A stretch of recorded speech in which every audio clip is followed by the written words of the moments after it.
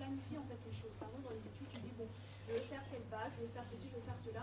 On est arrivé dans un stade où il faut que c'est le Seigneur qui donne tellement toutes les directives pour éviter de faire comme les autres, pour ne pas en fait. euh, Non, pas, faut, faut pas- faut pas- oui et non.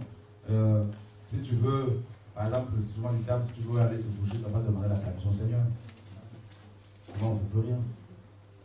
Euh, Dieu nous parle par des convictions, par songes, voilà, par la parole d'abord. Et euh, il ne va pas, forcément s'attendre à ce qu'une fois te dise des choses pour pouvoir les faire. Quand tu as, tu as cœur de faire la médecine, ben, tu soumets ça dans la prière. Et, euh, et tu le dis, par exemple, si c'est pas ta volonté, ferme les portes.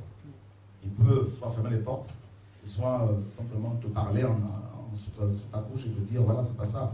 Ou quelqu'un qui n'était pas forcément au courant de cette vie, de ce, projet, peut t'appeler de la part de pour te dire voilà, Dieu n'est pas d'accord pour ce que tu comptes faire.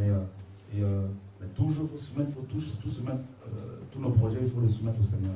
Et surtout, il faut regarder la parole. Qu'est-ce que la parole dit? Et c'est pas toujours facile. Mais il faut faire les choses d'après les Écritures.